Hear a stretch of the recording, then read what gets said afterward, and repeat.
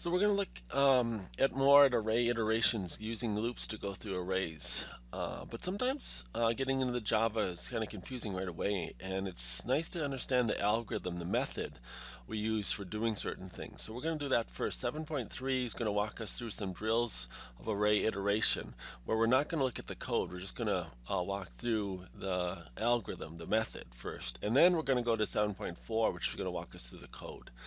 So 7.3 is kind of fun. It's just a set of participation activities to walk you through uh, and limit you in some ways. The first one, you want to find the maximum value in an array. Uh, you only get to look at one element of the array at a time. So I'm resetting this activity so I can show you how it works. So I'm start, I'm only get to see this. And then if I go next value, it'll show me each value through the array. And my job is to know what's the largest value. So when we're done, what's the largest value if I only see one at a time. And I can store one value as I'm going through. And so I'm going to keep storing the largest value so far in this stored value. So again, go through this, um, go through next val, uh, start so again, 62, that's the largest I've seen so far, so I'm going to store it here. I'm going to go through, now, I, every time I'm going to compare, if this number that I see is bigger than this number, I'm going to store it. So 69 is bigger than 62, I'm going to store that value, and then go on to the next one. 54 is less than that, it's not the biggest one, so I don't have to worry about that. 34 is not the biggest one, 7 is not the biggest one, 45 is not the biggest one. 74, that's a big one. That's bigger than any I've seen so far, so I'm going to store that. And again, um, I've gone through and found the, the largest number. And so my time is 32 seconds. So see if you can go through this, do the same thing, and see if you can beat to get a faster time than that also. Um, now another thing we might want to do is uh, look at the number, uh, count the number of things. Like here we're going to count the number of negative values. So similar thing, you can only see one value at a time. You can loop through this and then you're supposed to count how many negative numbers as you go through this. And so we can increment our counter here. So I'm going to reset this um, and start. So that's one. That's a negative number. That's not a negative. Oh, that's a negative. I'm increment that. That's another negative uh, number. That's not a negative number. I'm not going to increment it. That is. I'm going to increment it.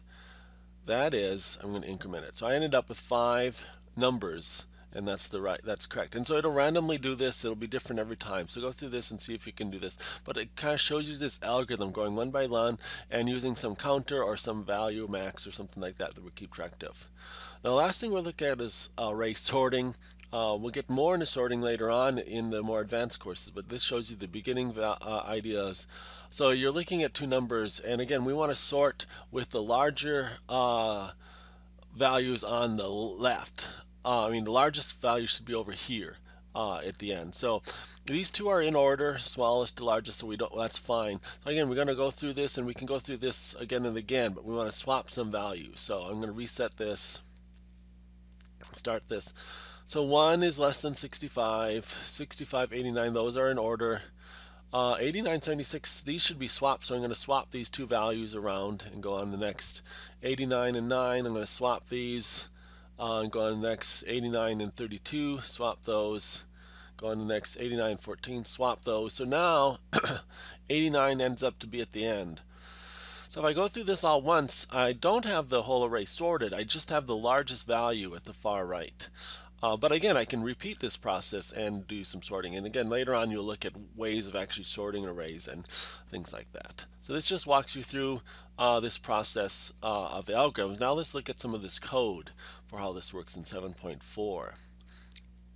So again, we'll be using this code a lot. We'll declare an array and we'll have some uh, number of elements in the array that we'll have often will be a constant or some other value like that will be number of elements in an array. And so we'll have our loop and this is going to be so here's our first code uh, looking at our loops here like I said. Uh, we have a for loop. We start with index 0 because again the index in an array is 0 we said i or whatever our loop counter is in this case i uh, is less than the number of elements in an array because again if you have a, an array of 10 elements they'll be numbered 0 through 9 so we want less than 10 and we increment it and then we do something in the body of our loop so this will be a standard loop process and uh, eventually you'll see they actually have pre-built loops for this sort of stuff uh, for different types of arrays or more advanced things. Sometimes you see the, the book talks about vectors or array lists.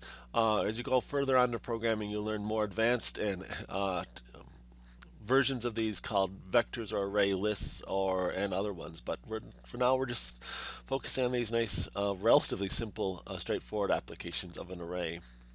So here's our first element. So walk through this, see if you can understand it. We declare a constant for the number of elements in our array. We then declare our array of integers being that number of elements and we call that user values. And then we're looping through it. And again, here's our, this loop and this loop are exactly the same. They just set i equal to zero and then i is set to one, two, three, four, all the way up to, in this case, seven, the number of elements in the array. And so we'll do this loop. We'll go through these statements seven times. And each time, the first time through, i will be 0, and we'll work with user value 0, and then i will be 1, then 2, then 3. And similar here, uh, we're doing this again and again. Now here we're trying to find the max value. And remember from the previous thing, as we're looping through the array, here we had the user enter a bunch of numbers, seven numbers, and now we're going to have to find the max value. So we're going to loop through this uh, seven times. So each time through the loop.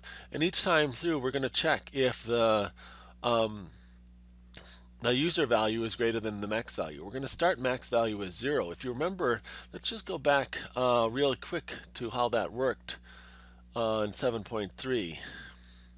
So here we're going to find the maximum value. We start this off and right away we're going to always store 23 is always going to be the largest so far because that's the only one we've seen. So we're always going to store that first version and then we're going to check is 48 greater than the stored value and if so we're going to store that in here. And then go to the next value 69 greater than 48 if so we're going to store it. And we're going to keep uh, storing values and then some of them we won't store. 42 is not greater than 85 we won't store this. Okay, so that's the algorithm we're trying to do here. Um, with this. So right away we're going to have this max value and we're going to store the zeroth element in the array into that. And then we're going to go for i equals 0, i less the number of elements, and we're going to check if the next element in the array is greater than the max value, we're going to store that element in the array in the max value. So again, we're going to look at the, the first element, uh, or uh, element uh, 1 and we're going to say is user value sub 1 greater than the max value? And if it was then we're going to say max value is now equal to that new fun and now then we'll increment i to 2 and then we'll check if user value sub 2 is greater than the max value. Now it might not be. This that that element might be relatively small and so we may not store that in here. And we'll keep looping through here uh, and setting this up.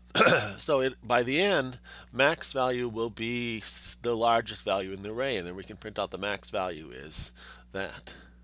So uh, so this this will go through and work you through this and show you the examples and they show a couple examples here one with positive negative values and this one is all negative values and they set that all up. So they walk you through this code. Here's another array iteration ones or some more questions. Uh, here we're assuming the number of uh, elements in our array is n size. So that's our constant holding that. So try to work through these examples of looping through these. We use this sort of uh, a lot of these similar algorithms frequently uh, with arrays where we use this for loop like this and we loop through and in and we do something in between count them count the ones that satisfy some values find the largest or the smallest or things like that so one thing we do have to watch out is this common error is trying to access an array out of bounds. If array of eight values and we say uh, if array v has eight values and we say v sub 8 that's illegal because the values are 0 through 7 so every once in a while you get an array out of uh, array index out of bounds error. And that means that you maybe um, the array index is negative or it's too large and stuff like that. So like here's an example, we're trying to say we have an array weights, it has three values. So out in memory, here's weights and here's their three values. And we're trying to say weights one, weights two, weights three, weights uh, three uh, and this is going to give us an array uh, exception, array index out of bounds exception uh, here because again there isn't a 3. Uh, there's three values but they're index 0, 1, 2 so the index is out of bounds. Um, So here's another example you can watch that sums up the values of the array. And again, we ask the user to enter the values in the array and then we sum them up. And again, it's similar to what we saw in the previous examples. You might want to jump back to that previous example where we're summing up the values. Uh, well, actually, we didn't. We didn't do the sum. We did something else. But again, this is a similar feature where we're trying to sum up these values.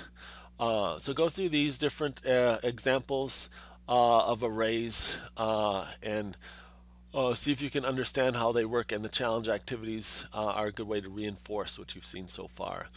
Um, it takes a while to get used to arrays and loops and they're difficult at first but if you keep working on it you can understand that you'll start seeing this repetitive pattern with this uh, a loop and this index and then you'll start seeing this as a unit where we're just going through each element in the array and doing this for each element of the array but you've got to keep trying. You have to keep looking through example after example of this to, to kind of get it to sink into your brain. So keep working on these. Good luck